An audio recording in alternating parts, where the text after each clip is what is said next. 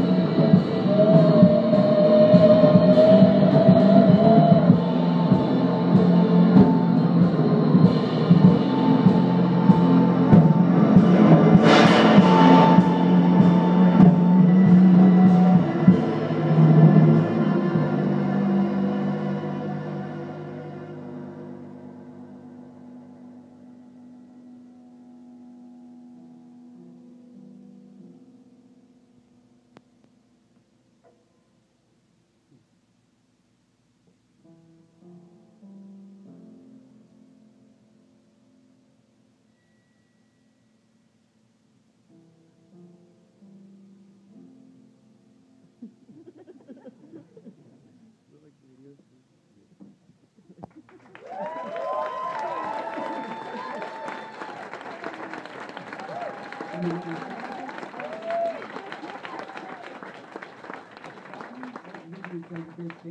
we